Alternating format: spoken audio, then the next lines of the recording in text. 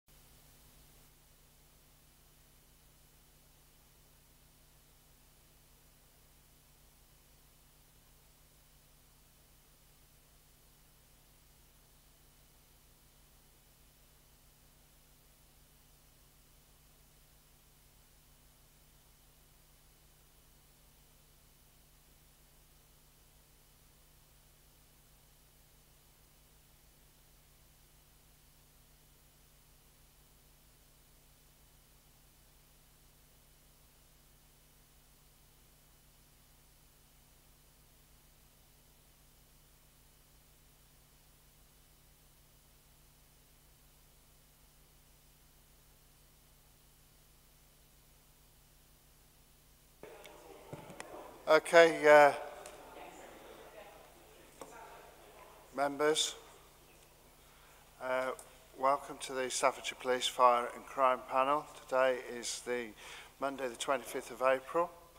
Um, I am uh, Councillor Richard Cox, Vice Chair uh, of the committee, uh, the panel, uh, in the absence of uh, the Chairman, um, Councillor Peters, uh, who's unfortunately not well enough to uh, uh, attend, but we send him our best wishes uh, at home.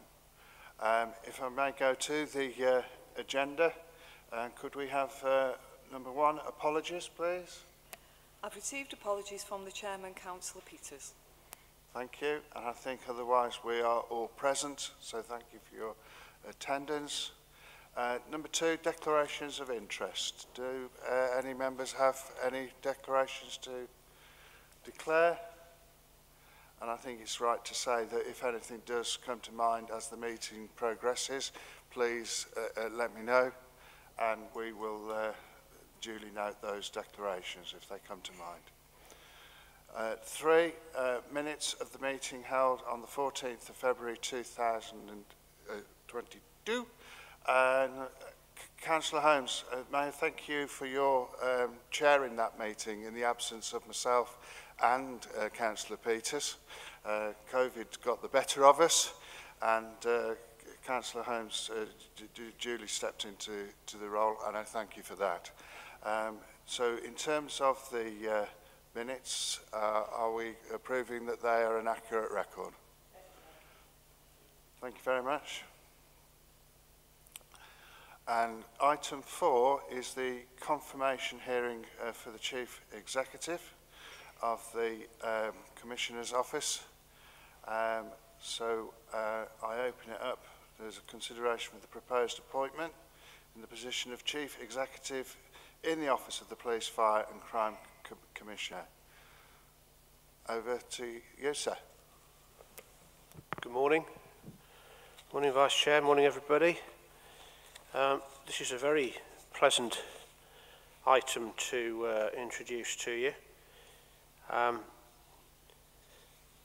to my left, Louise Clayton, who has come through a very rigorous process of uh, application and interview. Um, you can see there in the, uh, in the paper around this that the job of uh, Chief Exec of the Commissioner's Office is quite a wide-reaching and substantial one. Um, it isn't a nine-to-five job it, is, uh, it demands creativity, it demands, um, I think, the highest quality of leadership and partnership working. And it also means listening to me, whittering on at all hours of the day and weekends and things like that in order to progress the business uh, which I'm about, which is really primarily to deliver my uh, police and crime and fire and rescue plans. And it is very much with that in mind that um, I set out to find a chief executive who could really demonstrate a capacity to build new relationships, to work with a wide range of partners. Uh, as you'll know, panel, we've got uh, very close relationships with uh, various organisations in the criminal justice system, uh, with councils, with the third sector, with volunteers, charities, community groups.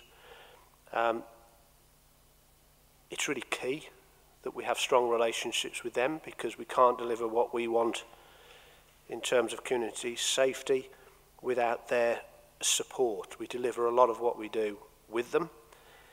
Um, I also needed somebody who had demonstrated that they could manage a team and had the respect of their teams, uh, which I believe Louise has done.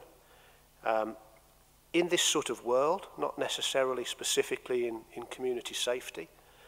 I think maybe 12 months ago I might have felt slightly different about that. But the um, way in which Helen and I have been introduced to the office, uh, I think I'd, I'm likely to be a bit more uh, knowledgeable, I think, than, than many people I've met on, on community safety now within. And that was the case within months in. So the key thing is somebody who can manage and support a team of experts. We've got great experience, got great talent in the, uh, in the organisation already.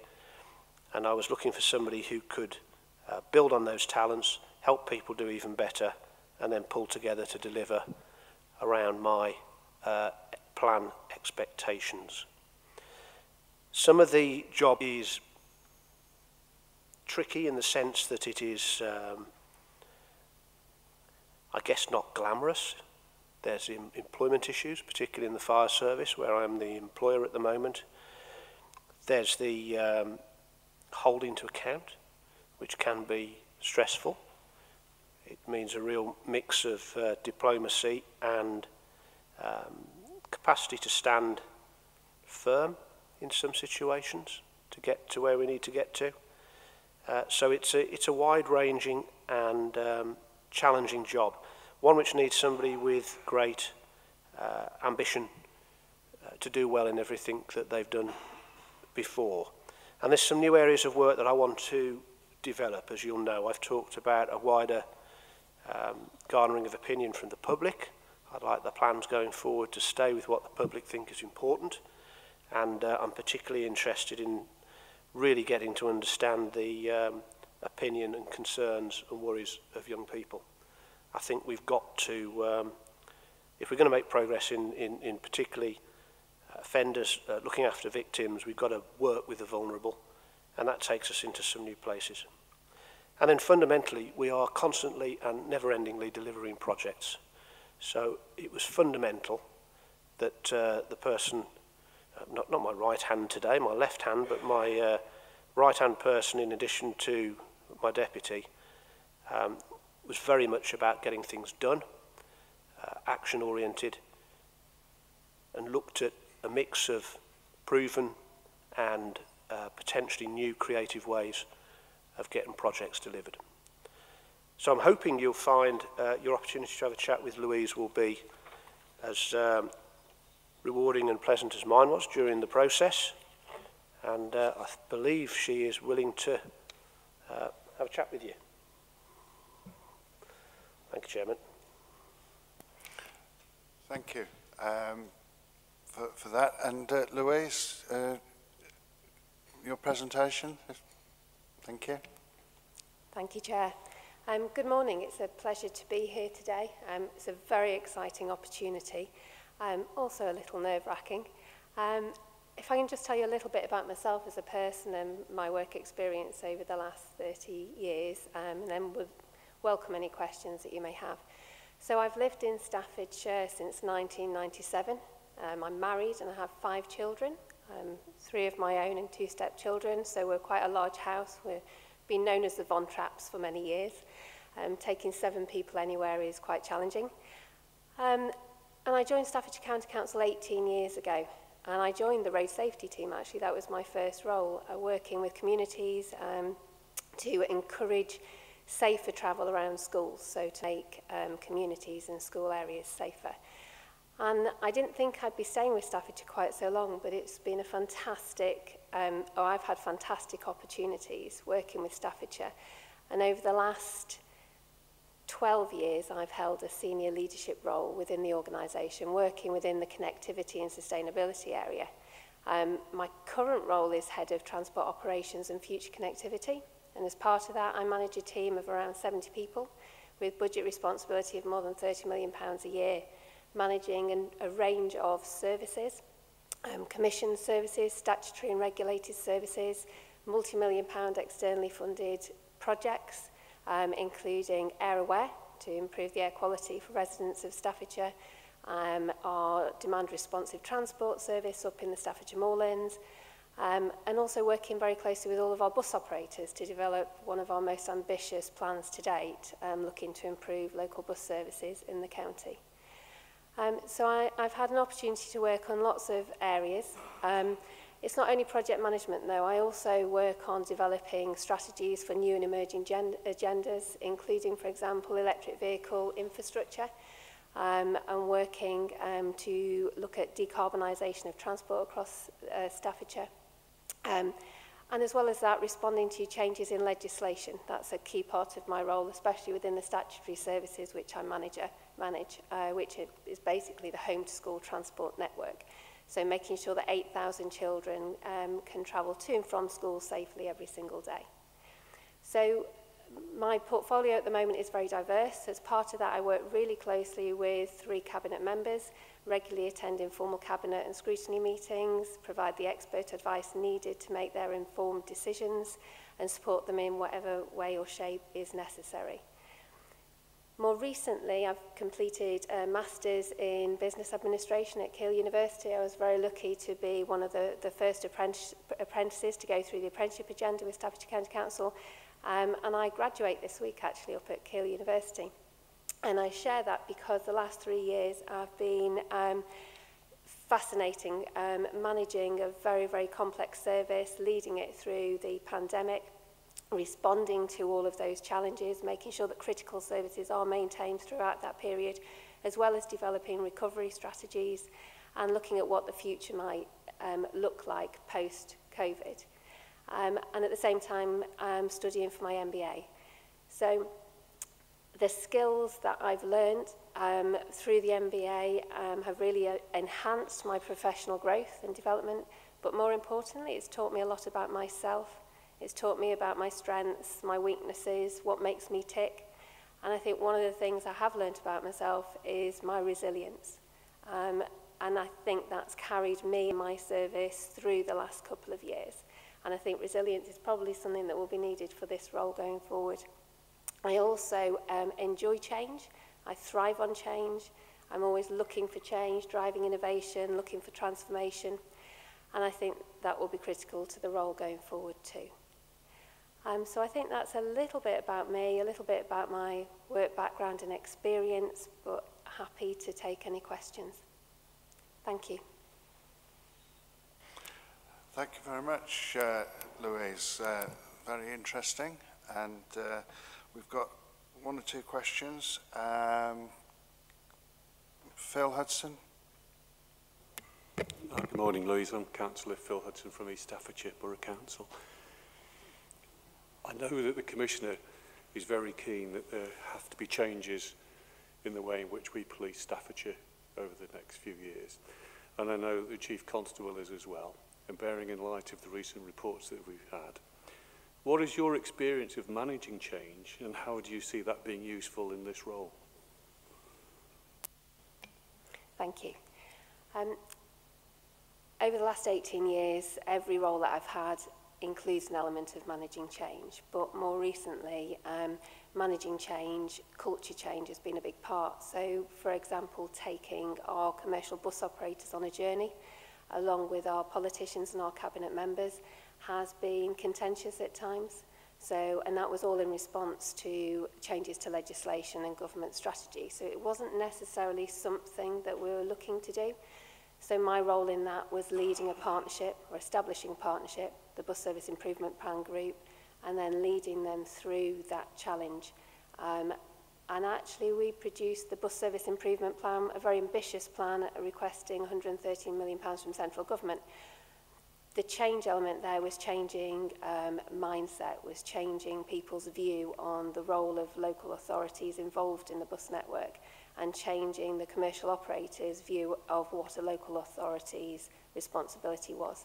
So that, that's been quite challenging recently, but I'm pleased to say that we've made, um, we've made inroads and it's still in development, uh, the partnership itself, but we are heading in the right direction. Um, managing change and performance management um, go hand in hand, I guess, um, and responding when things aren't working well. So as the sponsor and senior responsible officer for a number of multi-million pound um, projects over the years, holding project teams and program directors to account has been an important part of my role to make sure that projects stay on track and where um, where they're not to hold them to account and to make the necessary changes. Any uh, supplement, Councillor Hudson? Yeah, two of the top priorities for the Crime Commissioner are for Staffordshire Police, a flexible and responsive service and to support victims and witnesses. How are you going to support the Commissioner in his two priorities? Clearly I've not started in the role yet and I'm hopeful that after the discussion this morning at the panel that you'll approve my appointment. Um, so I will be working very closely with the Commissioner in the coming weeks and months to address those key challenges. Um, as you all know, I'll have to serve a length of notice at the County Council, but it's my intention to start the work, if approved today, as soon as possible.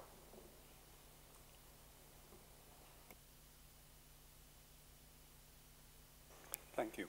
Good morning, Louise. I'm Roger Lees from South Suffolk Council.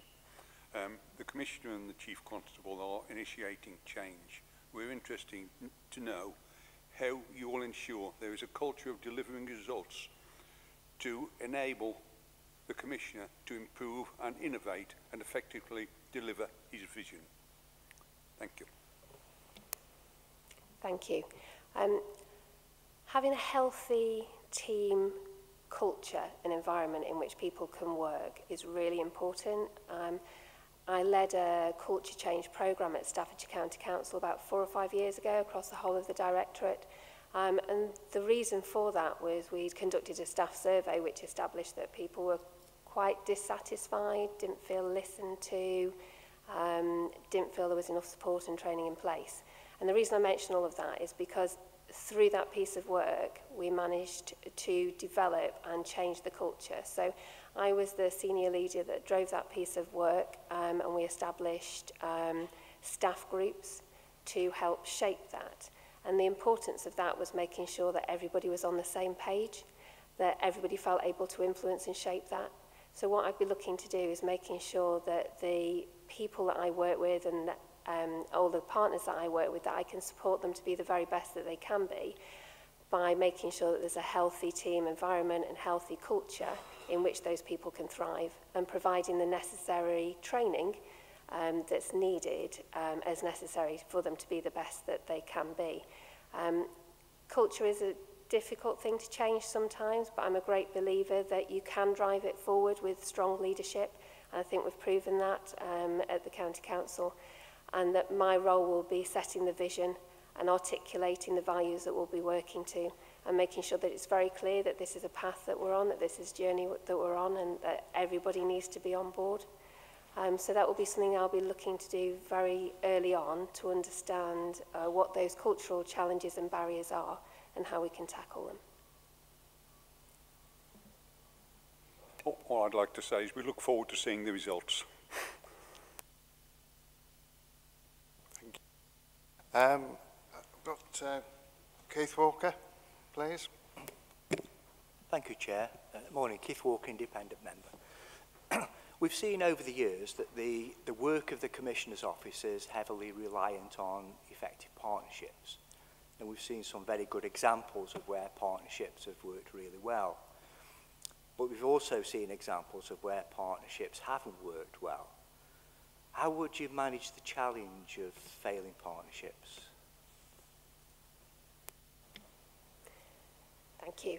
Um, I think the first thing to recognise is that not every partnership does work and actually the fact that recognising a partnership is failing is a really important part of that journey um, and then working with all of those partners to understand what needs to change. So it's about being very transparent, about being very open with the partnership. Um, clearly I don't understand all of these partnerships just yet, um, having not started in the role, what I'll be looking to do is establish fairly quickly which partnerships work well, which don't, and look um, further afield um, at what works in other areas, because I'm a great believer in don't reinvent the wheel. If there's best practice that can be used or examples from elsewhere, then we should certainly look at that and consider that. Um, so one of my first, well, it's going to be a very, very long list, but one of my first actions will be to establish exactly which partnerships require my personal attention sooner rather than later and then work with those partners um, to improve that situation. Thank you. Any supplement? No.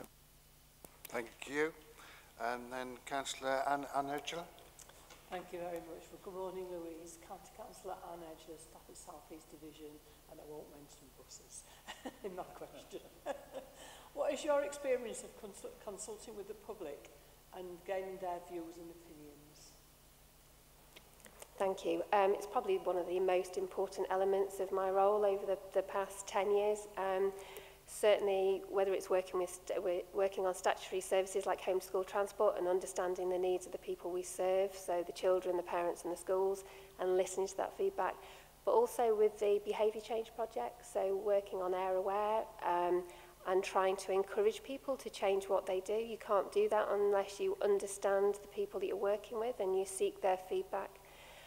Um, engagement and um, feedback from the community is, is vitally important though When there was a particularly complex issue that arose last year around the operation of a discretionary transport scheme, the vacant seat scheme. And as part of that, I led an engagement process with the general public to understand the impact that the change in legislation and the potential removal of that scheme would have. And through that feedback, we were able to actually identify some mitigations that wouldn't have been known to us had we not gone through that process. So yeah, absolutely agree that we need to um, engage with the communities, listen to them, and then respond, and not just listen and take that figure and that, that, that narrative, but actually use that to inform how we deliver better services for our, for our residents and communities. Thank you, Chairman. Thank you, Louise, for your answer. And uh, Councillor Brian jones Thank you, Chairman. Good morning, Louise, and welcome to the panel. Um, got a very impressive CV, if I might say, and my question is a fairly open one um, within your role, if confirmed today, looking forward to the next few years, what do you see as the main challenges and how do you plan to address them?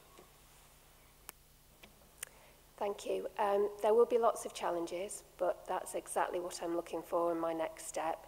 Um, and I think my biggest challenge will be delivering everything that's laid out in the police and crime plan and the fire plan. Um, so I think that probably covers everything. Um, and then making sure that the Commissioner's ambitions are delivered and that the vision is delivered for Staffordshire. On a personal level, I applied for this role because I live in Staffordshire. I want to remain in Staffordshire and I want to continue to make a difference for the people, the businesses and the communities that we serve here in Staffordshire. Thank you. Thank you, Louise. The second part of the question was how, do you, how will you plan for those challenges? You've identified what the biggest challenge is. What will your approach to be? What will your approach be to actually delivering on that? Well, if confirmed today, um, I have already got a plan in process and I'll be sitting down later today with the Commissioner and the Deputy Commissioner to look at what a transition looks like. So identifying of all of those challenges and all of those um, um, matters that require my attention, how we should prioritise those as a team. So that will begin straight away. It will be a couple of months before I take up the position full time, um, but I assure you in those early days I'll be looking to um, identify, as we mentioned earlier, the partnerships that perhaps required the most attention, looking at some of the challenges around staffing and fire, looking at some of the um, issues around culture. So those will be the things that I'll be focusing on in the very early days. Um, but I'm sure I could come back and um, give you a, a, a more detailed plan once in post, if needed. Thank you. Thank you, Louise. Thank you.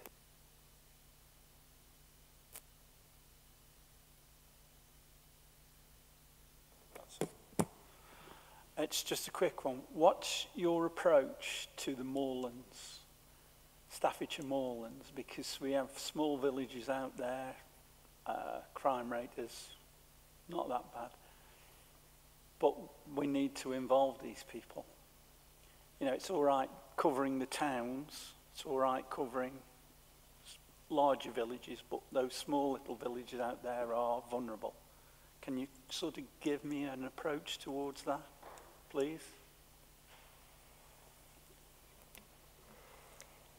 think with the changes that the Chief Constable's making to local policing, that will be better for all areas of Staffordshire, um, which will include the Moorlands.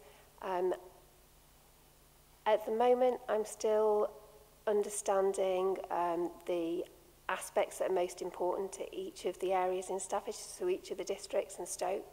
Um, and once, once I understand that, I'll be able to then consider that question in more detail. But what I would say is I work very closely with Staffordshire Moorlands at the moment, um, and we've just launched our demand responsive service up there. And I understand how difficult it is for those people living in the most rural areas, the, the remotest parts of Staffordshire that sometimes feel forgotten about and left out. So I really do understand that. Um, and that's why we selected the Moorlands actually as our pilot for our demand responsive service. So I'm hoping that by applying the same logic and working in the same way that I have done with the County Council within the office, that everybody will feel that they're considered um, in full. Thank you, a lovely answer. Beautiful. Thanks very much.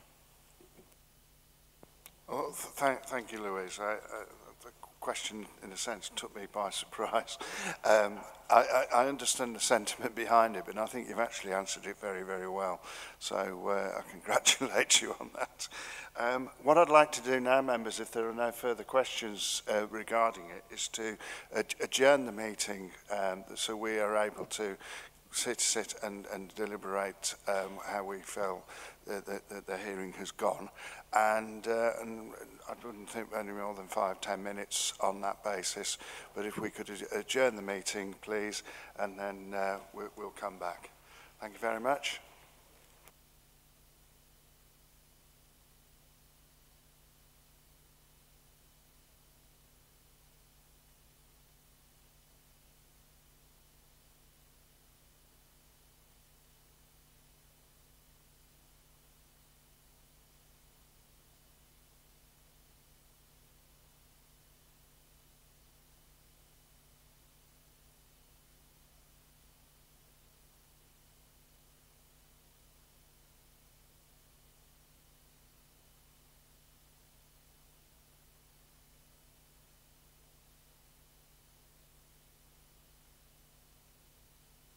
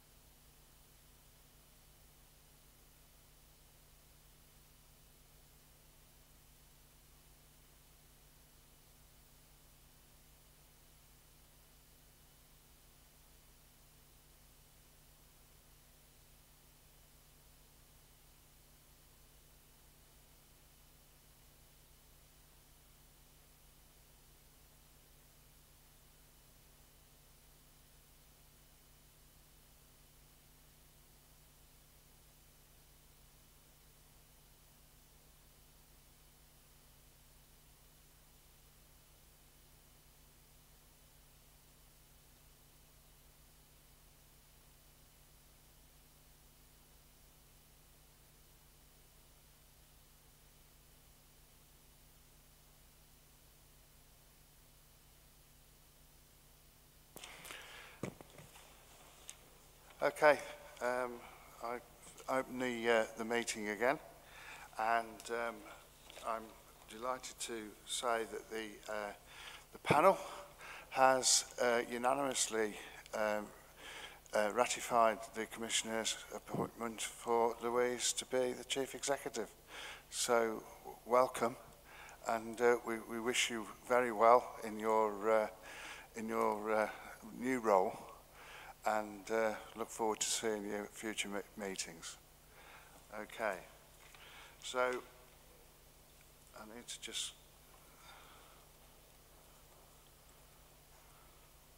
The days of a, a, a paper means I've got to, without them, I've got to log in again. And Andy's come to my rescue. So, um, item five um, we have uh, decisions published by the uh, Police, Fire and Crime Commissioner. I am, I am under the understanding that the, we don't have any. Is that, could you confirm? That's right, Chair. None have been published on the website since the last meeting. Thank you, Mandy. So moving on then, um, we have um, questions um, from members of the public. Again, Chair, none have been notified um, within the agreed timescales. Thank you. Item 7, um, the Police and Crime Plan update. So I'd welcome um, Ben Adams, please, to uh, presentation of the update. Thank you. Thank you. Um, panel, I want to take a little bit longer just working through this than uh, some of the stuff we've, we've done in the past. Um, I think you'll see that there's a, what feels like no time at all, we've actually made some considerable progress on some things, and I, I think it, some of this just needs to be um, talked through and then put into context with where we're going next, because there's still plenty to do. So the police and crime plan specifically, it's all about reducing crime, reducing ASB, increasing the confidence of the public. Um, put simply, I want fewer victims, and I want those victims to feel supported, and I want the, police, uh, the public to feel they've got an excellent uh, police service that's looking after them. I set out in the plan that we needed to be more flexible and responsive. Now that really uh, could be almost taken anywhere, but the fundamentals in that were improved contact. So if people phone the service, contact the service directly, they get an appropriate and quick response. And then when the service are dispatched, They get to the site, to the incident, rapidly, safely, and ready to investigate. Not frazzled after an hour of blue light running across half the county, but ready to investigate, ready to spend time, ready, hopefully, to stop the next um, incident in that area. The fundamental core work around preventing harm and protecting people runs through the whole service. For me, this is, this is a case of doing that well, doing that as well as others. And I'm just going to pause there for a second, because you may, you may already be planning to ask me some questions about the recent um, publications from a Majesty's Inspector. We had a child protection inspection in the autumn, which highlighted some good work, but actually highlighted some real disappointments. And a lot of it came back to the time, the capacity to really investigate, to really ask about children's experiences in certain situations, very focused in domestic abuse around the perpetrator and the victim, not necessarily looking at the children that might be in the household asking them about their particular circumstances. And that goes right back to this idea of responsive, good quality response in a timely way from people who might know the families, might know the area, um, and they got the time to investigate. It's also about contact in the sense of getting the right people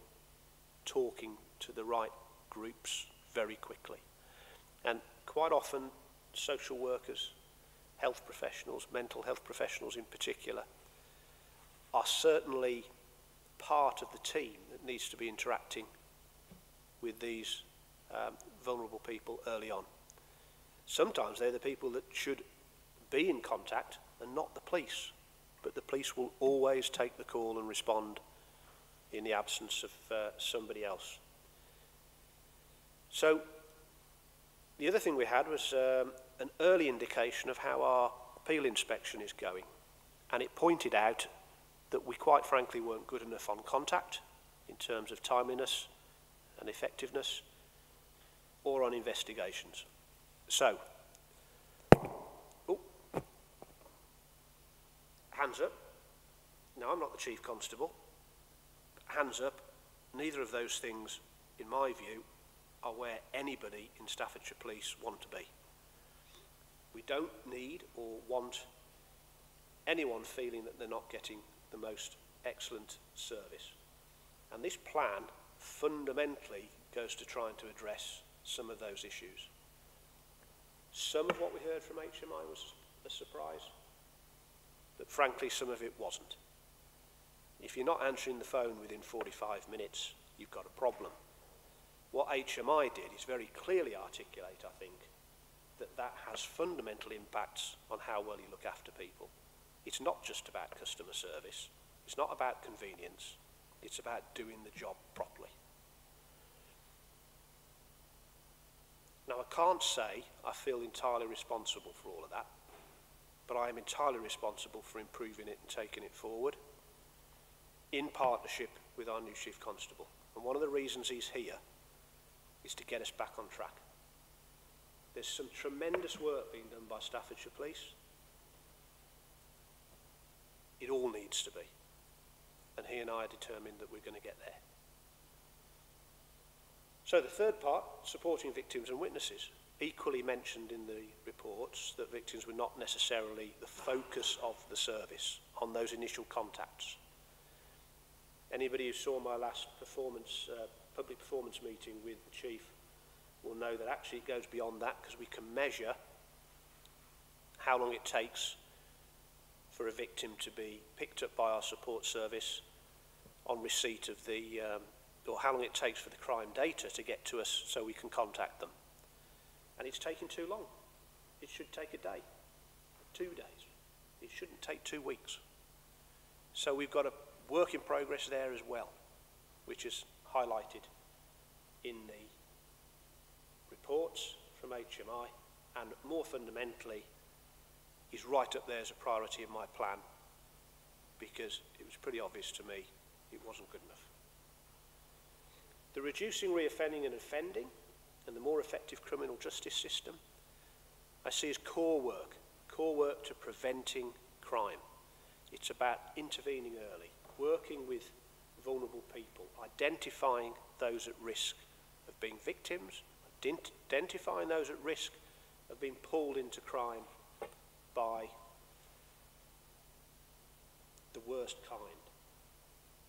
And we do some good stuff on this. We'll see in a moment about the commissioning efforts that we've made uh, since I took, um, took over, but also the great um, progress that's been made with stuff in the past. I think we're one of the best commissioning um, Police and Crime Commissioner offices in the country. And the more I travel around and see others, the more comfortable I am with that. We need to focus it, and we particularly need to build on the new opportunity with the National Re Reform Probation Service around um, where we can give people or provide people, push them towards treatment orders, help with their addictions, things that underlie this constant rolling criminality. So dealing with that is not just about the plan, it's not just about the new chief, it's about delivering it. Now he's barely been in three, three and a half months. There's considerable progress al already been made. You will already have heard about the operating model. It was mentioned this morning. Uh, Louise mentioned this more um, localized uh, model. The idea is that chief inspectors who know their patch will direct their teams at the local priorities. Seems straightforward, doesn't it? Makes a massive difference if you want to own a problem. You haven't got to negotiate, discuss. Today, team, that's the priority. This hasn't gone away for the last two weeks. Make it a priority and have their own resources to do that, whether it's response teams or specialist harm reduction hub where we've got people going in with experience to solve those sticky problems. Now that will be in place by the end of June. It takes a while to get shifts sorted, to move vehicles, to re, actually re, refit out some, some parts of, uh, of the estate, make sure we've got appropriate sites for tasking in the morning. Um, by the end of June, they'll be in place, and I expect by autumn to be talking to you about how that operating model is making a difference. We've also had investment from the Chief Constable in the contact centre um, and the switch to more resource into response policing will deal with those two fundamentals around contact and response and investigation. So just moving on, um, that time is key. If you're running around like crazy chasing down every incident, spending more time in the vehicle which could be spent talking to the victims. That's all an opportunity to investigate and consider proactive policing lost. So the localisation fundamentally matters. On top of that, some of you may remember from my um, election campaign that I felt the service needed the equipment and the resources that it needed. Um, you very kindly approved uh, my budget the other day, it means they will be properly funded. Um, we've used some capital to make sure that the new officers in the new model are all going to get the new remote equipment. So they've got the laptops, better remote access. The pressure for this as a result of the pandemic's been considerable, actually. We need to do the job, whether we're in the office or not, whether we're in a station or not. We need to do the job, and that means you need the kit. So that's going to be brought forward and the right tech will be with those um, frontline teams. And I've made some changes, some of which was um, we've debated here. We had a good neighbourhood panel system, but I didn't feel it was fundamentally representing all of the city and, and county's views. So I wanted a more diverse group of people, um, but also build on the experience and passion of those that were, were inclined to stay with us. And I'm pleased to say that the independent scrutiny panels that I set out to set up are now fully recruited and they're starting work. And if you recall, we're looking at stop and search, use of force, things of that nature. Give everybody this sense that whoever, whichever political party your commissioner is related to, um, however pally or unpally the commissioner is with the chiefs, that there's an independent oversight of what we're doing. And I think it's really important, not just in the scrutiny panels, but also with our uh, audit panel, which of course our friend um, Emma here is, is a member of, are always involved in overseeing what we're doing. That independence is important, as it is on the, the panel here. Um, the other thing I've asked them to have a look at is uh, the way we do strip and search. Now, this is directly in response to the outcry about that young woman in London who was um, strip searched at school. Um, we do use that technique here. Uh, I want to be sure it's in safe environments with appropriate support for the children and all of their uh, rights are protected. But let's not pretend that if somebody of whatever age has chosen to hide drugs inside themselves. And those bags of drugs could burst and could cause very serious injury, that there isn't an urgency and a requirement sometimes to do that. And if you're trying to help somebody avoid um, getting deeper into the criminal justice system, you need evidence and you need to investigate appropriately, but it must be appropriately. So I'm going to ask the panel to have a look at that in particular. And there's a couple of things I've mentioned specifically to you in the plan around repeat issues of antisocial behaviour, where we can bring our combined resources together, I think, to work better. Now, this might be repeat, It keeps happening in the same street. It keeps happening around the same individuals. We can do more together, probation, housing associations, councils, and police service to assist in resolving those problems. And you'll see some bits later on. We've brought in a, uh, a new commission service to support victims of ASB, because this stuff really upsets your life if it's not dealt with. And I've spoken to members of the public seven, eight, nine years of the rolling problem, and they need help just to manage it. We've also brought in some mediation support quite often this is two people who aren't going to get on on their own. They're not going to manage their differences on their own. So that professional support will help. And we've read some terrible stuff uh, in the national press about neighbour disputes turning into the very worst kind of violence. So I'm pleased to have commissioned that during the year. The other thing I mentioned to you is um, making sure that we're all joined up, every district and the city, around illegal trespass. Now, this will help us with um, particularly a lot of waste crime, environmental crime, but also um, managing protests. Now, we are Staffordshire, we are at the centre of the country's network hub, and we will be getting HS2.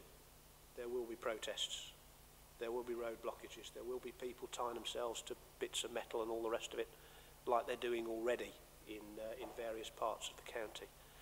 We need to manage that whilst giving people the absolute right to protest and make sure it's safe for them to do so. Because we have issues where I think I'd be protesting as well, some of the stuff around the county, but I would be doing it safely and I wouldn't be gluing myself to the floor. So I set up a force-wide community safety forum to discuss those two particular issues along with taking us more closely um, along the path with health. Now this isn't just fire, potentially with ambulance, potentially with prevention to assist primary health. It's also the police and our conversations on mental health and how we might triage and manage that contact centre better. because the contact centre is not just about the police doing more, it's about others doing more as well. It needs sorting. We've had a number of fires recently deliberately set. We've had a number of people lose their lives recently due to fires. Very unfortunate given that it was looking um, very low numbers last year, but we've had three or four since, all vulnerable, all with some sort of mental health background. So that's paramount to us. And that safety forum gives the community safety partnerships, which some of you are members of, the chance to directly hear from the, um, the two chiefs and to see that we're in good dialogue with these health partners.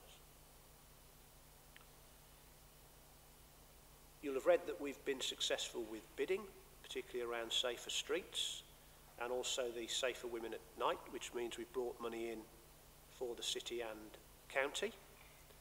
Um, there's a new round called Safer Streets 4, which is a bit wider, has to be match funded, but we've got some quite exciting opportunities, particularly around targeted support for the individuals we think are at uh, most risk of criminality. So we'll come back to you very soon. Like all these things from government at the moment, if you want if you want the money, you get the bid in damn quick, and you have you've basically got months. And this stuff really occupies our team. Actually, it's hard work turning things around so quickly, but we've been very successful.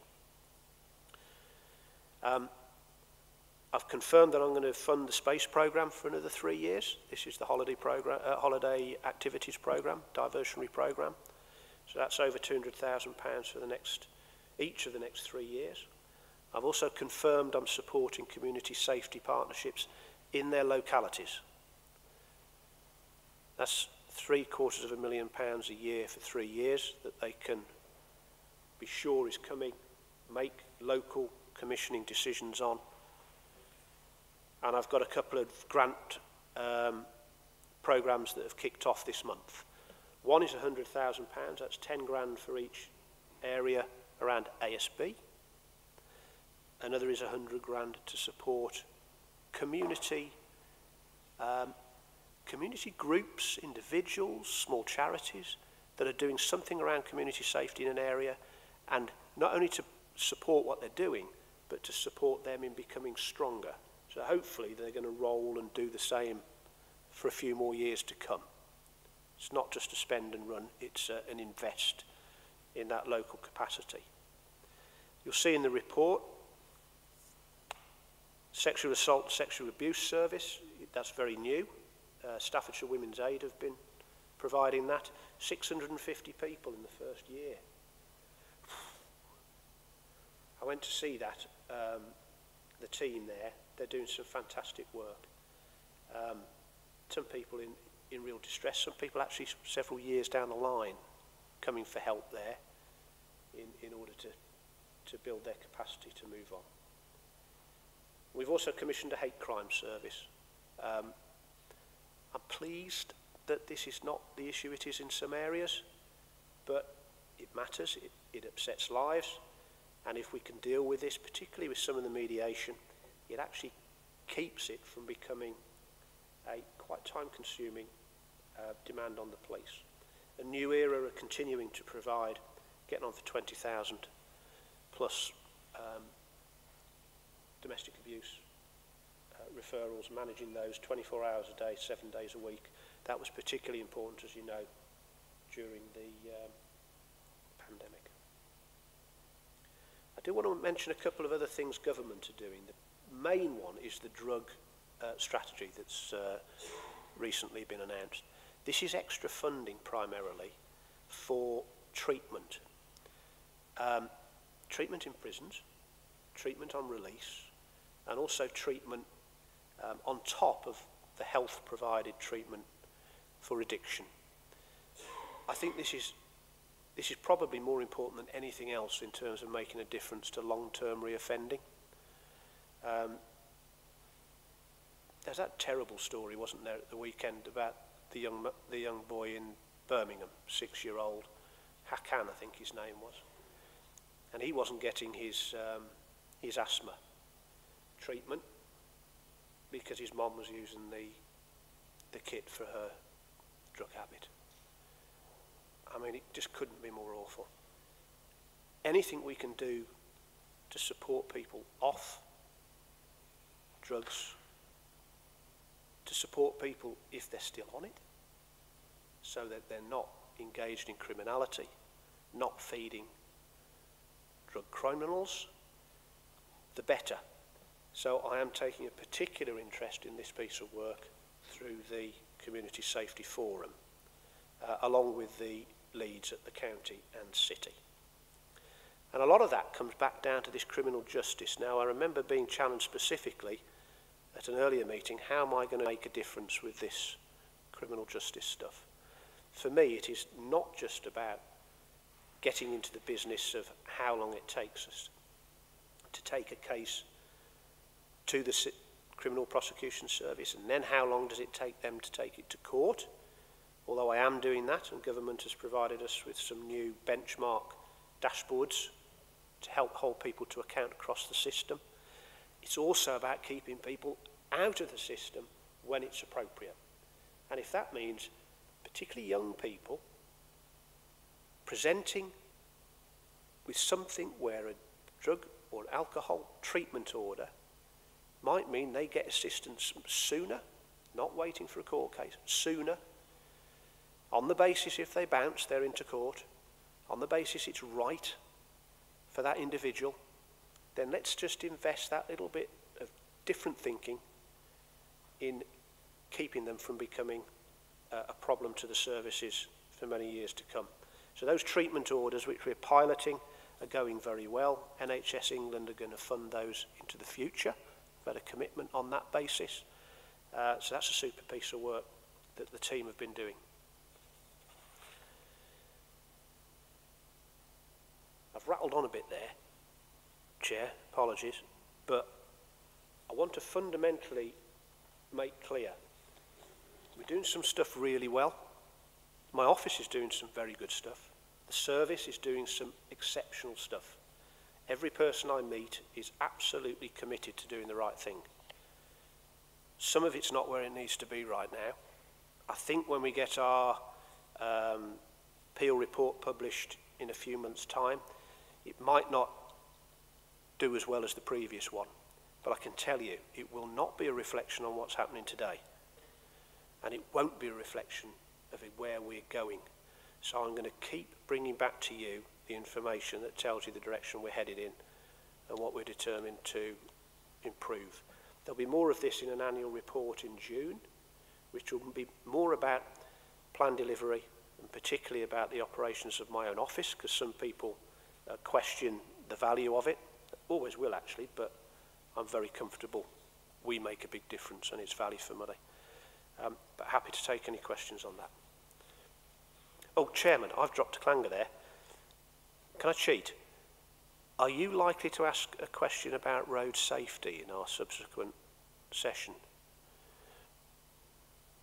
If not, could I just ask Helen to give us a quick update on where we are with road safety? Because I'm afraid, folks, this is difficult hearing at the minute. With your permission, Chair. Yep, more than happy. Thank you. Morning, everybody. Um, yeah, it's um, it, it's not it's not good news um, uh, at all. We've had, um, so far this year, um, we've had 12 people lose their lives on our, on our roads. Um, and in fact, we've had two just over this weekend.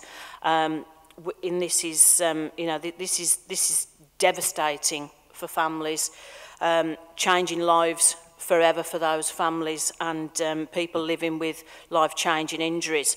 Um, just to um, just to sort of uh, compare that to the numbers uh, from last year, um, we had 18 over the whole year, 18 fatal collisions, um, and 15 of those were involved in uh, at least one of our priority road user groups, um, like motorcyclists, pedal cyclists, mature drivers, young drivers. Um, so this, this year, um, we've had three mature drivers so far that I've got the, the information for. Uh, one mature passenger, uh, four pedestrians, two motorcycle uh, riders and, uh, and one young driver. So um, as you can see, um, it's, not, it's not great. Um, I don't know where the figures are going to end up for the end of the year, but I would like to take the opportunity uh, to reassure members that the work of the Staffordshire Safer Roads Partnership focuses on these seven priority road users uh, areas with lots of targeted activity. Um, the Commissioner and I now co-chair the, uh, the Staffordshire Safer Roads Partnership. I'm very keen that the work we do um, stays ahead of the trends um, and we're currently seeing more mature drivers um, being killed or seriously injured on our roads.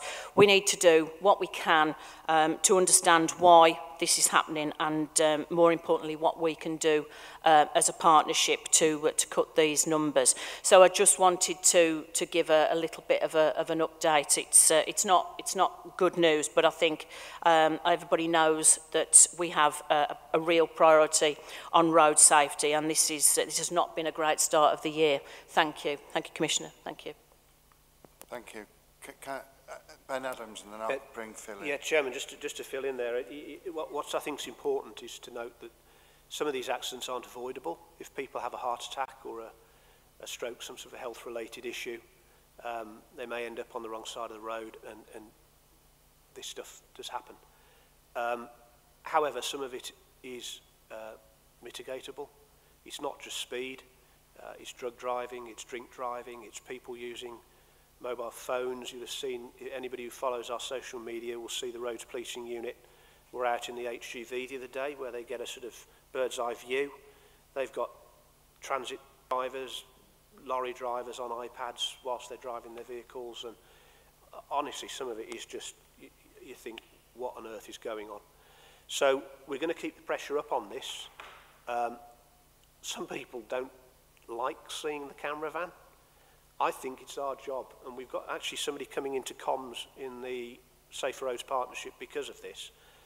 I think it is very important they realise they're also looking for uninsured vehicles, they're looking for people not wearing safety belts, they're looking for people who are willfully putting their lives and others at risk.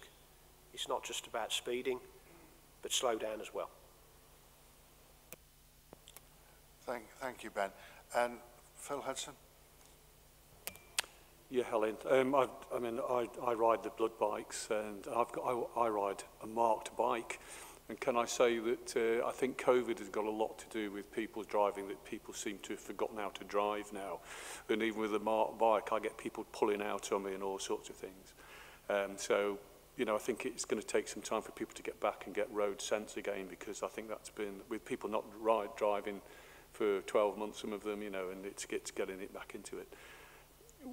I know that the road policing team were taken off their duties for a while and had to backfill for the IMU. Do you think that that might have had a bit of an issue and uh, the, not having so many road policing officers out there dealing with the things that they are now doing? But I know that, uh, you know, that they were taken off road policing duties for a bit because um, I, I needed their help and I couldn't get it because of things like that. But uh, You have my full support at uh, Utoxity, you know, with Speedwatch. We do hope to actually get to see you because we've, we've tried twice now. And um, are there going to be any grants this year to help? Because as a county councillor and the town council, we've spent thousands of pounds on SIDS. Uh, we're getting our last two are going up in Utoxity. And I've been asked by Richard Raisin, uh, do I have any grass verges in Utoxity that don't have a SIDS sign? But they do work. And um, you know, we could do with perhaps a bit of funding from the Safer Roads Partnership to help us uh, with some of the things. I, I've paid for the speed watch signs to go from the county council out of my local divisional budget, you know, but uh, it would be nice. We've, we've spent thousands. It would be nice to, if any future projects that we could perhaps get some grants for, please. Um, we've got a, I've got my next public performance meeting coming up with the Chief on the 24th of May. Um, we'll, we're going to be asking specific question around roads policing. Um, I appreciate they needed the um, resource actually for, for response uh, and the demand's been considerable and it didn't mean they weren't doing road policing and of course we've also got our uh, motorways group which continues round the clock in partnership with the West Midlands so the activities continued um, you know Helen and I's view is that it, it's always a good thing and we the more we can do of that the better And I think the new model will allow for more capacity from um, neighbourhood and response cops around uh, traffic-related issues as well. Uh, we haven't at the moment got any budget in for SSRP for grants. Uh, we've done that in the past.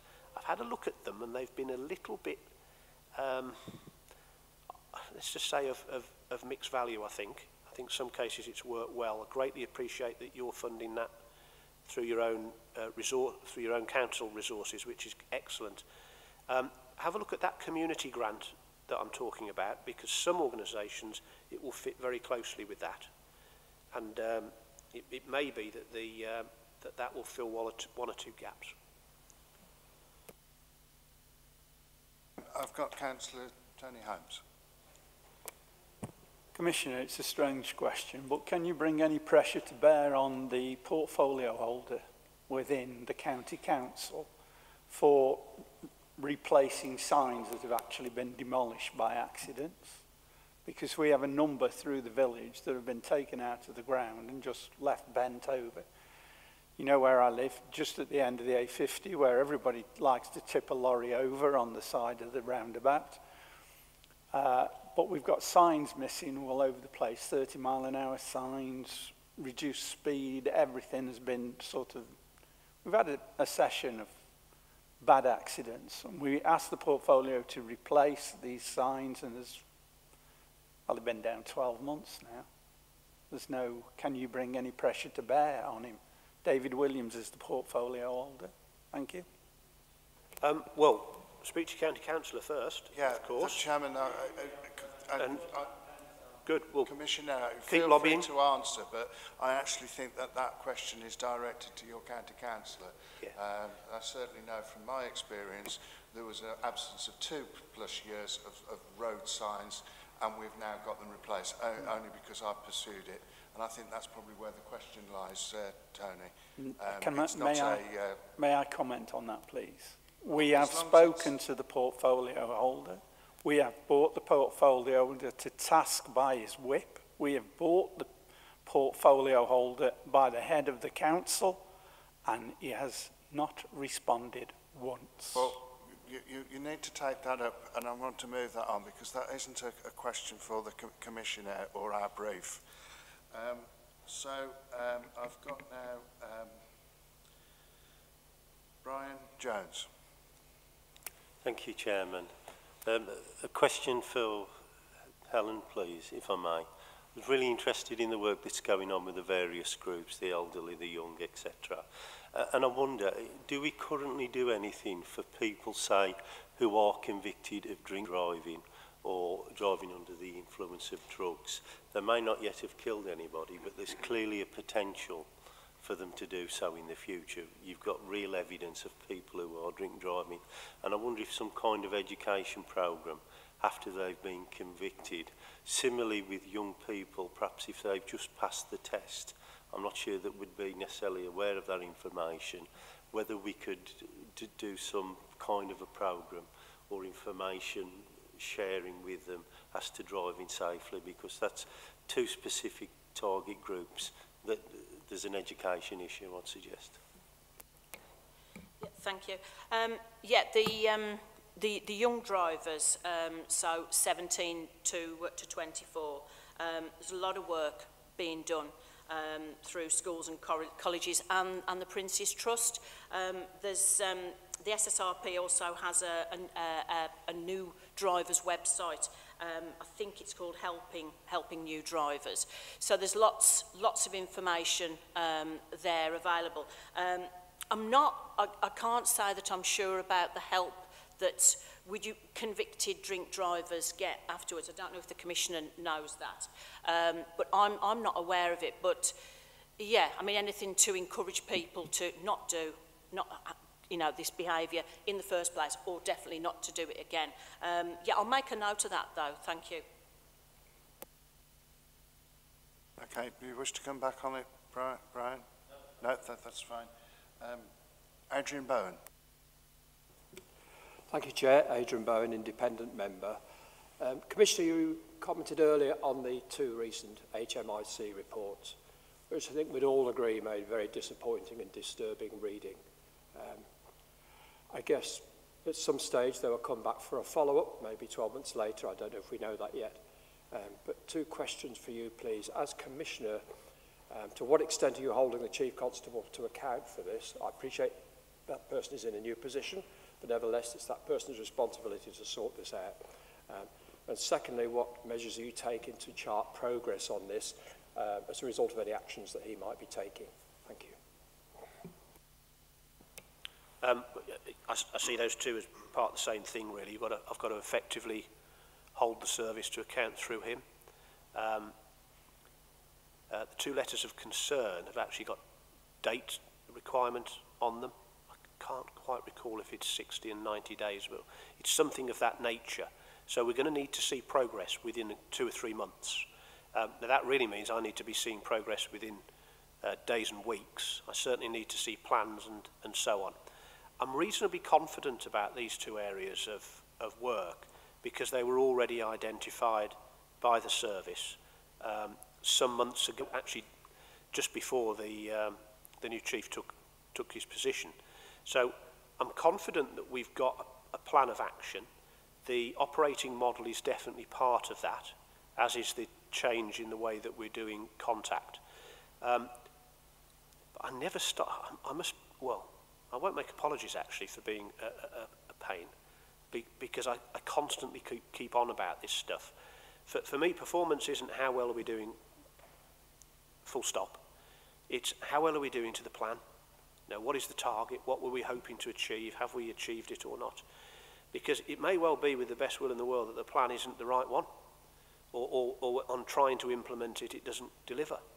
And you need to be able to call that early to say, are we really where we need to be?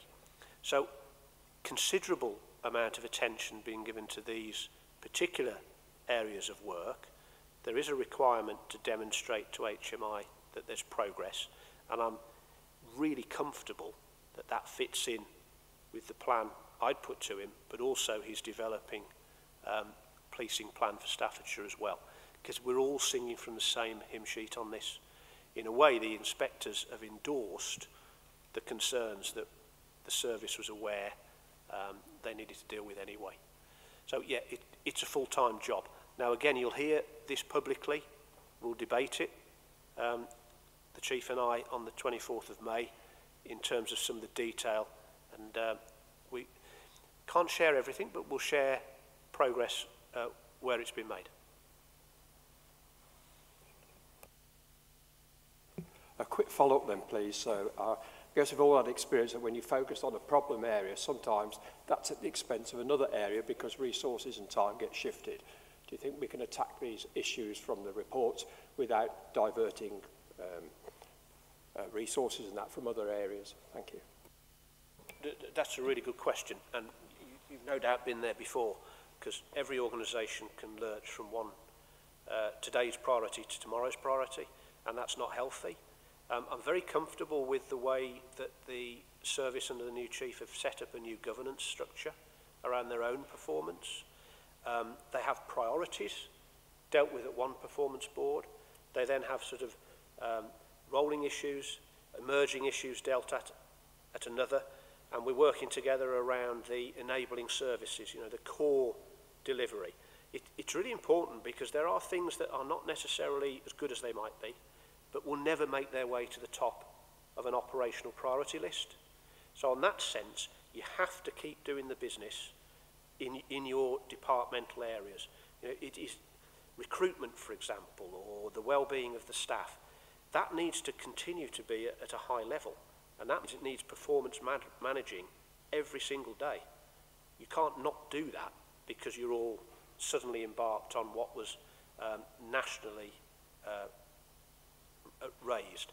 So I absolutely get that point. And um, it's not easy, you know. Most, a lot of organisations get that wrong. So I, I, think we're getting there. I'll come back and talk some more about that, uh, um, particularly around, um, I think around some of the stuff we're seeing around the country around culture and confidence. You know, that is a rolling programme of trying to change the way an organisation operates.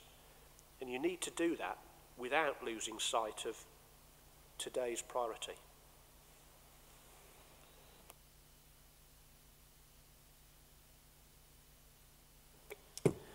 Thank you very much, Tim, and thank you for your reports, uh, Commissioner. I've got one or two questions, actually. My first question is about child protection and about children going missing. Have you any idea of how many children are going missing from a home environment and how many children are going missing from a care environment?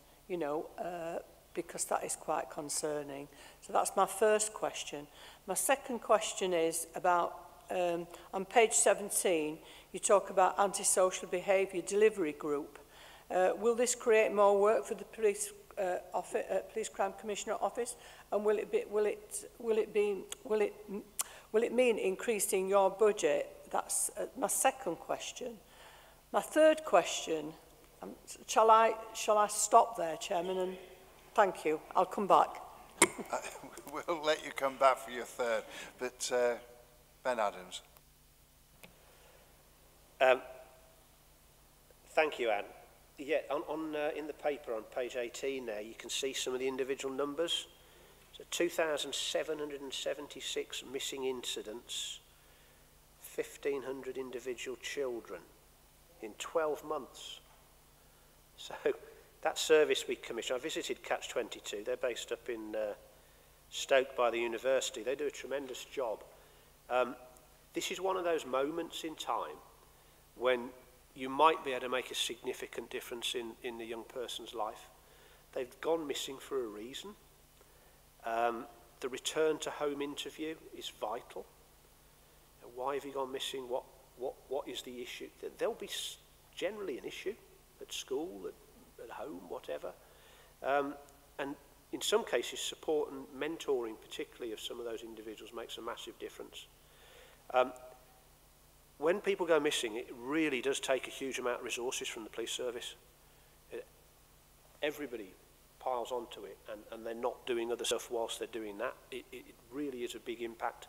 So it's, um, it's a key thing. It's something I'm, I'm very keen we continue to support. Now, I don't know the split there as, as to how many are um, in a care setting of some sort. Um, it, it'll be a significant number. So if you don't mind, I'll report back to you on that particular item. Now, this antisocial behaviour uh, focus, I'm very keen. The local CSPs don't need the Commissioner's office telling them how to do local antisocial behaviour. What I'm looking for is what can we do um, strategically or around the piece that would add value. So whether it's in uh, Lichfield, Moorlands, Tamworth, Stoke, wherever. Um, what can we add value? And for me, the key thing is repeat incidents. Now, I can talk to partners in a way that the individual local CSP might not be able to. So if we need children's mental health services differently involved, if we need a county housing association involved on a different level, I can possibly assist with that. So it's about looking at the issues behind repeat incidents, looking where maybe the way the service supports the local partners can, can change. And maybe in some cases it's about consistency. We've got what's called a community trigger. Uh, this is legislation that came out about five, six years ago. This should allow any individual to say, I've had enough here. We've had three or four goes at this and it's not resolved. I'm going to instigate a community trigger. How you do that is different in every district and the city. That doesn't help the service to respond. So I want, for a start, if nothing else from this uh, working group, I want to arrive at a single way of doing community triggers. We're going to let the public know about them a bit more, and we're going to demonstrate that it makes a difference. But on, this isn't about doing the everyday job. Yes, there will be a bit of work in that for us,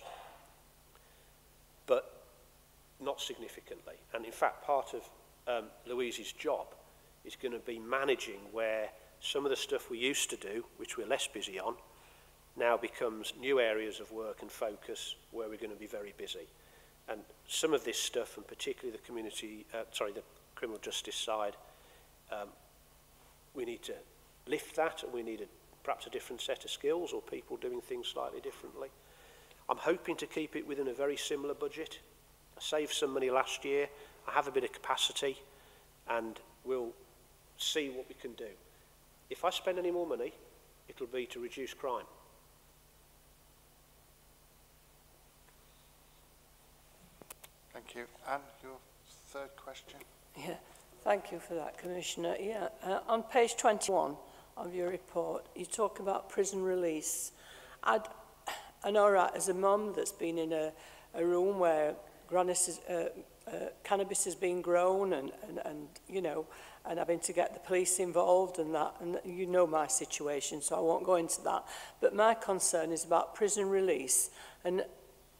before these people get into prison, Commissioner, what work are we doing in schools to stop these young children getting onto drugs? Because this, way, this is where it starts, right at an early age, where they're getting onto into school, you know, um, starting on drugs when they're at that school age and then it builds up and builds up while, you know, they're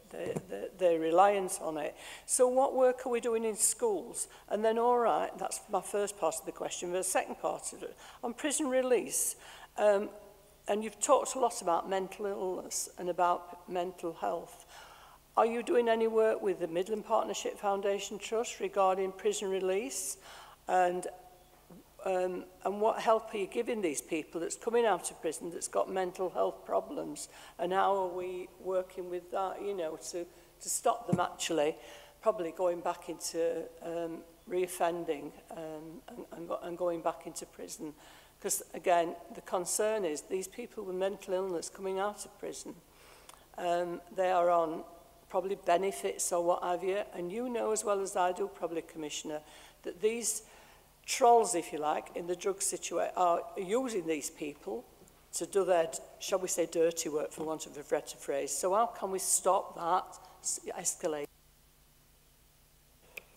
It's um, the reducing reoffending piece of the work is really fundamentally about um, doing what we can to support people that maybe they've ended up in prison, maybe they haven't. Um, and refreshing all of that, but with a, a, a view to building on what's been successful for us. We've been very successful around juvenile offending, not so much about um, uh, the older cohort. Um, I'm just about to do a piece of commissioning around enhanced employment. So this is for people that, when they come out of prison, they, the two things they most need are um, housing support with getting themselves set up in terms of rent support, uh, um, etc. The next thing they, they really need is a job. And we've got a number of offenders who, who, for one reason or another, never make that step to the job. It then makes it too easy to step back into to criminality. So we're going to have a, a pilot project, a bit like the one that was uh, successful with the treatment requirements around finding work and um, supporting people back into employment. The police service have got a significant offender management team. They work as, uh, as officers, as probation um, and others.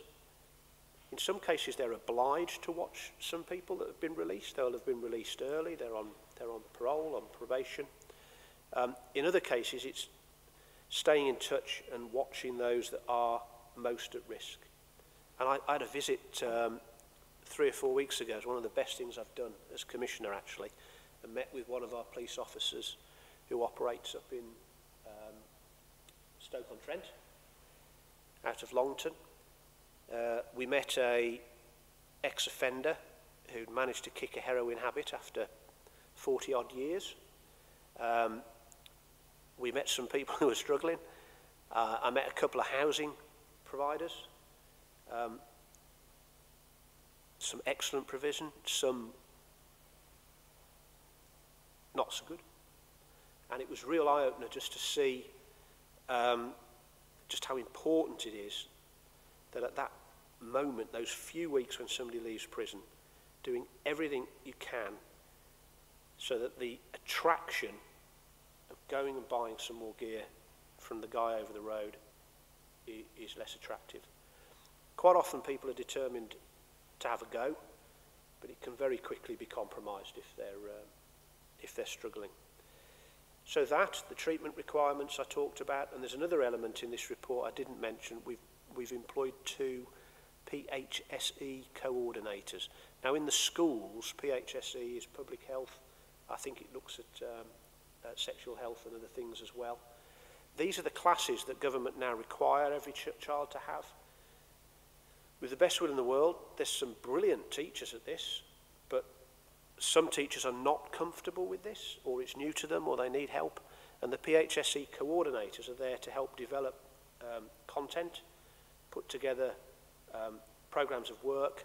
And uh, I was at Burton talking uh, at a knife crime um, meeting that the MP pulled together on Friday. Half a dozen schools there said, thank you very much for the PHSE coordinator because she's assisting us in delivering this piece of work specifically around um, the risk of county lines and drug-related crime. So it's, um, it's fundamentally going to the heart of what you're saying. I think the real key for me is if somebody is using, somebody is clearly involved with some drug criminals, that the police, the PCSOs and others have a a good set of options to get them to some treatment early. It, it's not just about a fine, it's, cer it's certainly rarely about banging someone up in that situation. It's within days, you're going to go and have this counselling for six weeks, you're going to have this treatment for the next six weeks, you're going to turn up and you're going to do it. And that sort of option is for me fundamental to just keeping those people out from making the biggest mistake of their lives. Thank you, C Commissioner. Now I've got uh, Keith Walker next, and then uh, uh, Mar Martin um, Summers and Brian Jones. So, and, uh, and Phil Hudson's just indicated. So obviously, if we could uh, try and mindful of time and so forth, don't want to rush it because it's important. But uh, Keith. Thank you, Chair. For some years, the forces had a, a multi-agency safeguarding hub at Stone, which used to be the envy of many forces. Um, it's filled with experts from different organisations whose job I thought it was to identify and mitigate a lot of the issues raised in these inspection reports. Now, with that sort of facility and those so-called experts working together to provide solutions to these problems, the processes and systems are obviously broken somewhere. And where, where have the processes broken to lead to a situation where this so-called pool of experts is not able to, to fulfill what they're expected to, to fulfill? piece. I think, I think you've identified something um, important there. It, it is in the report, the Child Protection Report. Um, what, one of the things we've seen with the pandemic is a sort of opportunity to compare um, effectiveness when organisations are co-located and physically sat across the room from each other and when they're not. And There's more work needs to be done on this to see exactly what is going on. But it appears the co-location has had um, has added less value than people originally thought. That the organisations were still um, more focused on their own part of the solution rather than keeping that victim focus at the core of it. Um, I'm looking at this in some detail at the moment because Uh, I don't quite know where it's going to take us with the MASH, the multi-agency safeguarding hub, but certainly putting, all, putting people in one room is not the full answer. You need the culture change. We've got a big problem still with data sharing across organisations and services. Um, and I think we need to be more focused on where the blockers are um, and, and that physical interaction. The physical interaction worked very well in some cases, but if somebody's out three days a week, it, it isn't the answer. And you can pick up the phone, you can make a, a video call, you can be in touch just as effectively, um, potentially from your own base. So we're looking again at that, but it was, in a way, I think, a good steer from the report that is this really working as effectively as it should do? And you're quite right to mention that looking after children is not just about uh, the police service. It, it's that wider group. Um, and in a way, we've, we've all got to reflect on what that means for us. And I, know we are in terms of coming together to provide the, the solution. I'd welcome an opportunity to come back to you again on that, perhaps in, uh, in a few months' time, because there is a question about whether that MASH the model to take forward.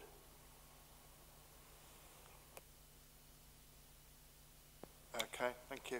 Um, my apologies go to uh, Anna Edgler. I didn't allow her to want to come back. Do you still wish to come back? Sorry, Chairman, I'll come back with some different questions. Thank okay. Um, so I'd like to uh, welcome um, Martin Summers from Tam Tamworth as his first meeting. So uh, welcome to the meeting, Martin, and uh, your uh, question to uh, the Commissioner. Thank you. Sorry, I'm sitting behind you. I'll try to go over there next time. Um, just, just a thought, Commissioner. Does, uh, you mention um, treatment, uh, drug treatments in your report, but uh, do you have any plans in progress uh, for the rollout of the naloxone nasal spray, uh, which is a potentially life-saving treatment that can be del delivered by officers at the scene of a drug overdose? And it's believed to help uh, in those, those people who've suffered overdoses engage with treatment going forwards. Um, Martin, I'm not sure. I'm not sure if we already use that in some cases or, or exactly how and why. I know it's a lifesaver, in, in, in, particularly if uh, somebody's overdosed, it can, um, it can be a lifesaver. I'd have to report back to you on that as to exactly where, what the current use is and what the, um, if there's any planned expansion of it. Thank you. Back on that about um, No, I have another question, but I'm happy to wait. Um, so, um, Brian Jones. Thank you, Chairman. A uh, question, um, please, Commissioner, on your independent scrutiny panels. Um, it's great that you recognise there was a problem with the Safer Neighbourhood panels, and I absolutely um, agree with you that we have to have a more diverse representation on those panels and it's, it's key that the, the public can scrutinise the work of the police. I also like the ad hoc approach and welcome your comments around strip search and other bespoke things that, that might come to the fore. Having been um, a former police officer, when I retired, I joined a Safer Neighbourhood panel, and before I was in politics. And I'm disappointed to say I, la I left after a year because it was totally ineffective. There was no training whatsoever. And, and frankly, um, not all, there were some good people there, but there, there were a, a few members of that panel who, who actually were on there for all the wrong reasons, and I, I won't go into that. So in terms of the new setup, you said you've recruited all the new members. Uh, has, that, has there been a process to that? Are you looking at the reasons and the motivations? Is the training for them? And I know this is a triple question, sorry. And how will you monitor the success of them going forward? Um, yes, it's a quite, been quite a heavy process actually on, on recruitment. I'm pleased that some of the previous panel members who um, had an appetite for scrutiny have applied and, and been successful. Uh, not all were. Um, and that I guess a test of the robustness is that not everybody who wanted to be on a panel has got on one. Um, I think the fact that we've got a single uh, sort of centralised resource means that the training will be um, perhaps more uh, focused, but it, it is considerable. And the police service have, have expressed an interest in using some of those individuals to help them with their independent advice and guidance as well, which I'm really pleased about because I don't think it's good use of public money to be out recruiting twice for essentially the same uh, public-minded, uh, experienced people. So yeah, I'm very comfortable. We've got a nice, um, a, nice mix, more reflective of the county, different opinions, different ages, and um, I think the proof will be in the pudding actually when we see the first set of reports from them. The scrutiny before worked very well. Uh, in terms of stop and search in particular, it gave us some very useful data. So I'm expecting more of the same, really. And then one of the panels is almost a floater, where we will ask them to look at issues uh, that emerge. And I think that will be helpful. There might have been an opportunity around, um, I don't know, violence against women and girls last year, uh, culture in the police service, where we could have said, would you go and have a look at this through a Staffordshire lens? So looking forward to more from them.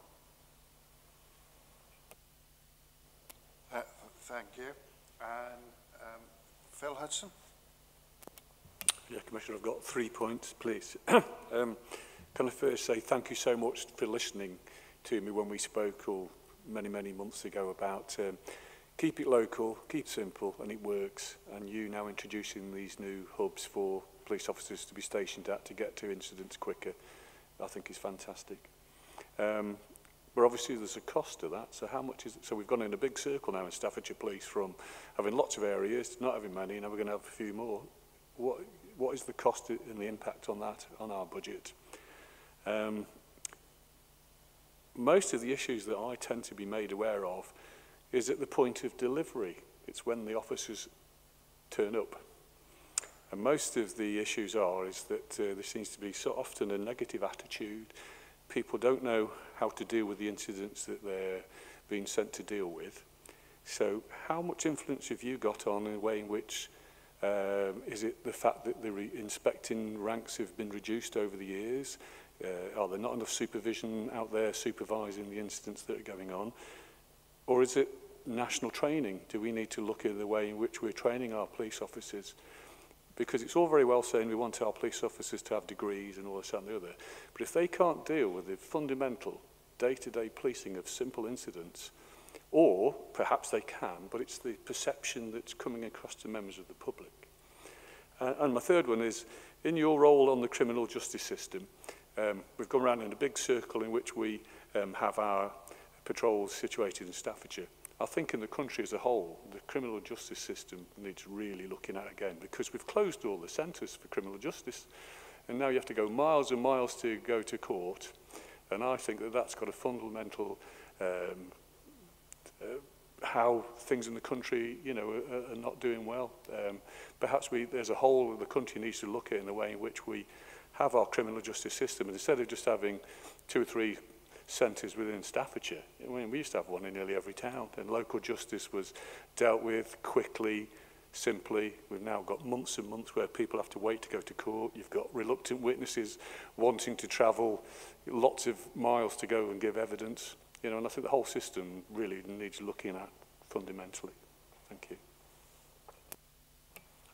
um well Phil firstly in terms of local um I, ha I have my own views what I was most concerned about is that people got the experience they were asking for and it's the Chief Constable who's come up with the design of the, the plan um, and the new model. Uh, you're right, it, it is traditional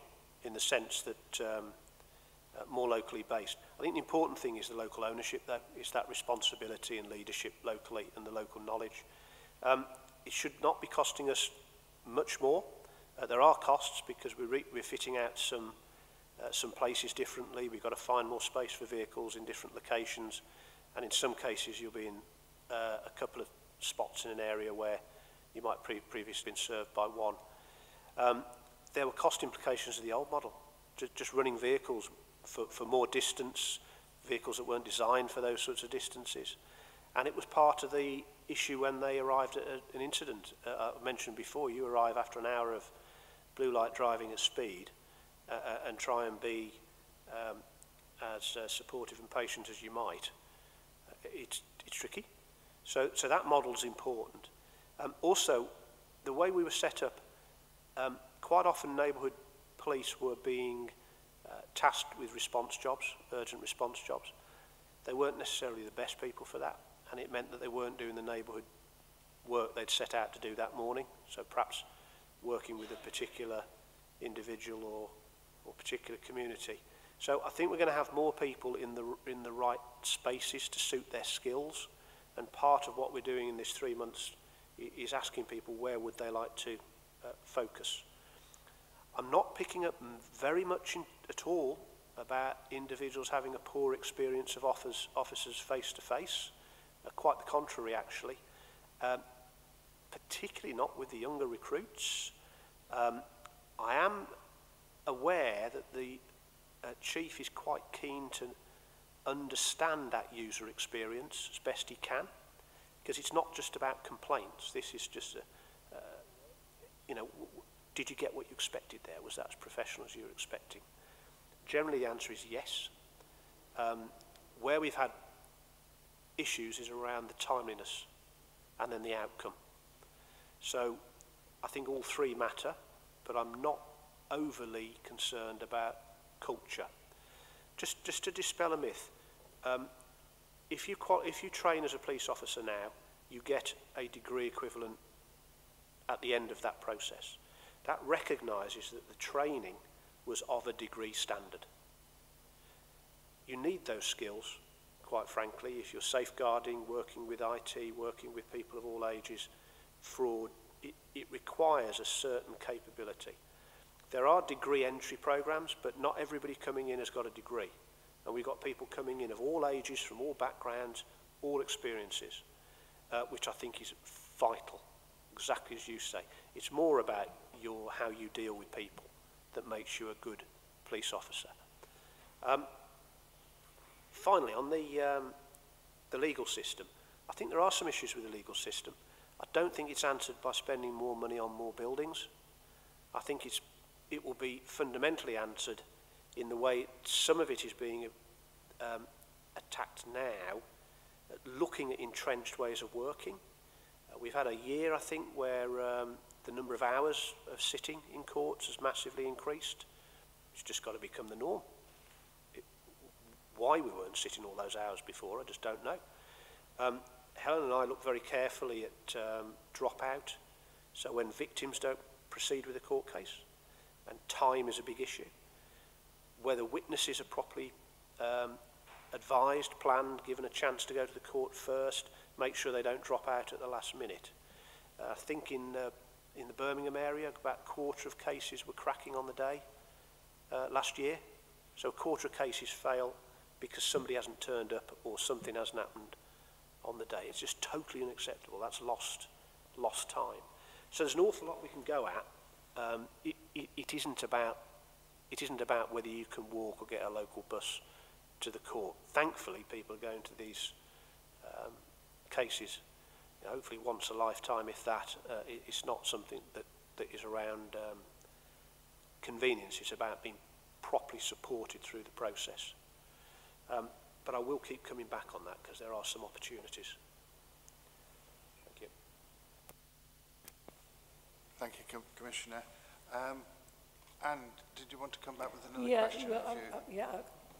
yeah, I've got about three actually. Sorry, Chairman, but um, yeah. I, well, first of all, congratulations on the space programme, Commissioner. I'm really pleased that you're putting money into that because that started in the early 90s, and I'm really see that it's it's it's ongoing.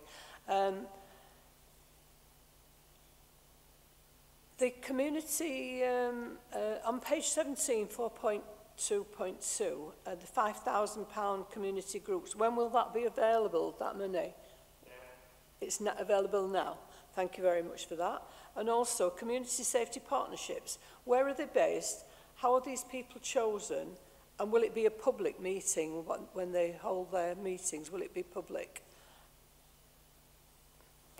Well, um, community safety partnerships have been in uh, as a statutory duty for local councils um, back to the 90s, I think.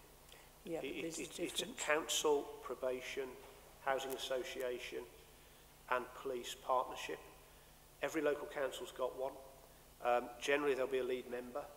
And then there's a, a coming together at county level in the form of the RAG, the Responsible Authorities Group, mm. which you can definitely sit in on. Um, and in the city, they have two uh, community safety partnerships and uh, their leader, the leader of the council, actually chairs uh, that function there. She takes it so seriously. So for me, it's fundamentally about how you locally hold those services and influence them and also do your bit as a council. Thank you. Uh, Councillor Jones,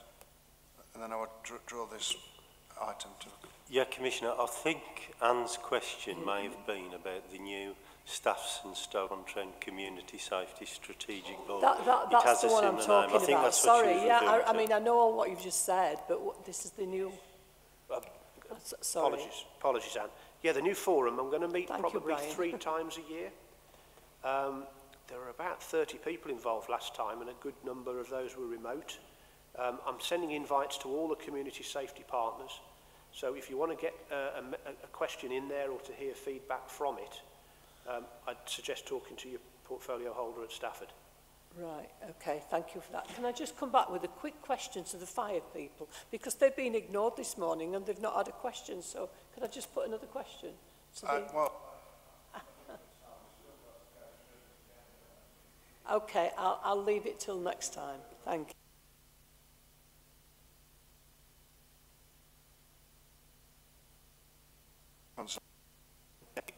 Uh, not to come back on anything, Chair, just um, a point, please, on the Police and Crime Plan update, which contains some very, very useful, very interesting information. Uh, but when can we expect to see a report on the results? And how do you intend to, to report the results of your Police and Crime Plan? Um, in terms of performance, the public performance meeting is the key thing Um, so that's the one with the Chief Constable I mentioned in May. You'll see statistics at that, at that, um, uh, at that public meeting. Uh, they, they will be available. Actually, the, the, the data I'm asking for at that meeting will now carry through um, and be a substantial part of the service's own performance monitoring as well. So I'm very keen that we're all looking at a subset of the same data and that people have the opportunity to build familiarity with it. Also in my annual report in June, you'll see um, probably a higher level result of where we've got to already, but more detail around some of the commissioning that we do and the way my office actually um, delivers its side of the equation as well. So some key highlights will be in there at two, but the key thing is the public performance meeting. Now, Chair, I'm very happy, uh, and it might assist, is if you were to receive those uh, that data pack in advance of that meeting. So at least three times a year you're seeing the same data that I'm holding to the, the chief to account on. Keith? Uh, yes, uh, thank you for that. Yes, it, it would be useful to receive that sort of information, that performance information to support the, the words that are contained in the, in, in the update. Keith, I couldn't agree with you more because it, it's all very well me saying something's going okay. If you see the numbers and can satisfy yourself, it's job done, isn't it? Th th thank you. Um, I've just got one quick uh, question. You, you, you alluded to, obviously, in terms of resources, with, with HS2 and various other issues within Staffordshire.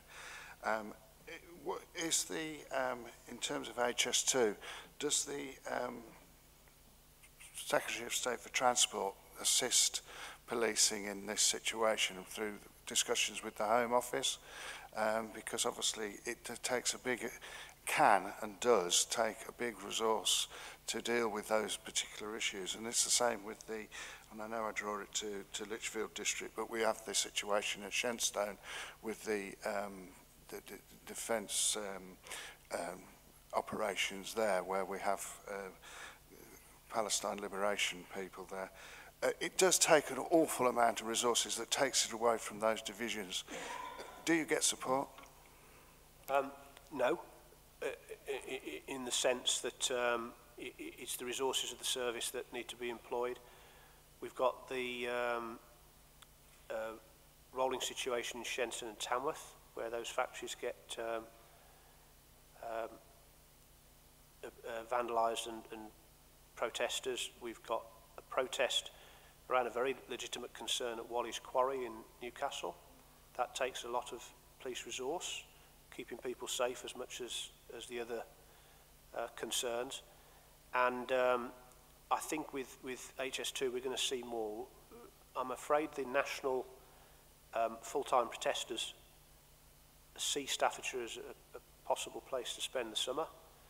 Now, the good news is the Chief Constable is the National Police Chiefs Council lead for protests.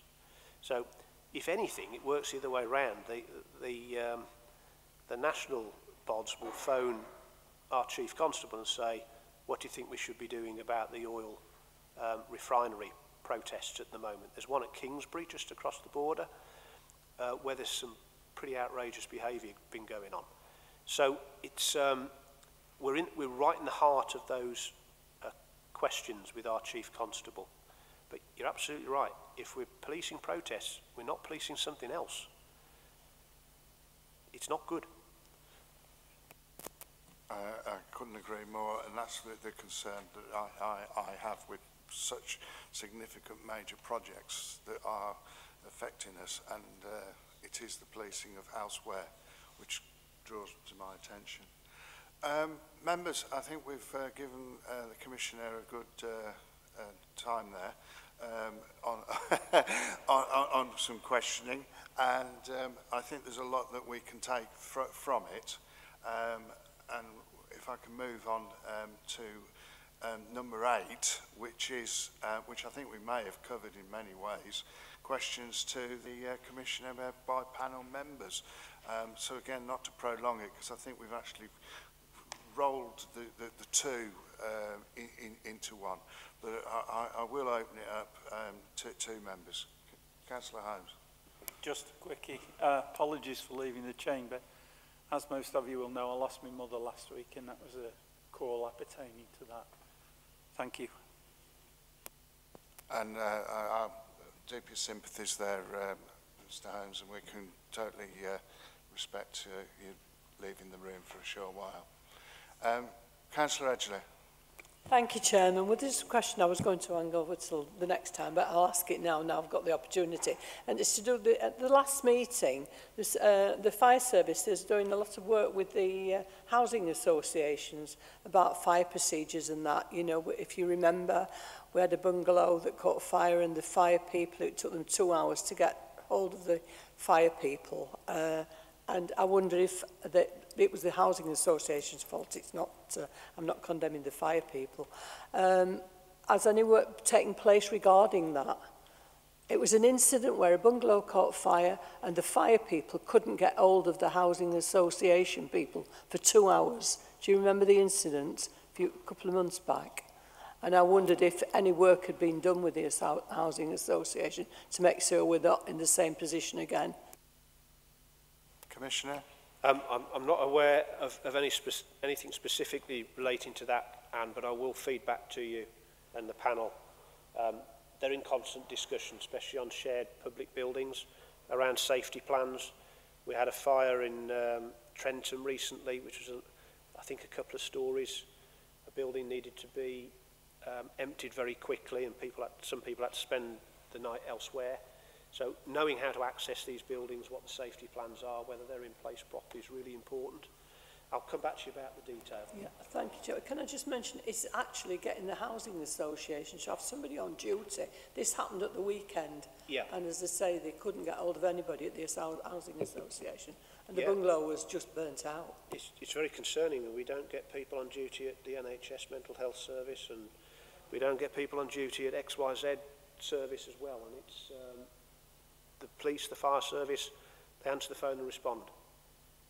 But you're quite right, we need to uh, get to the bottom of that and remember that we were, we're going to do it. We'll come back to you.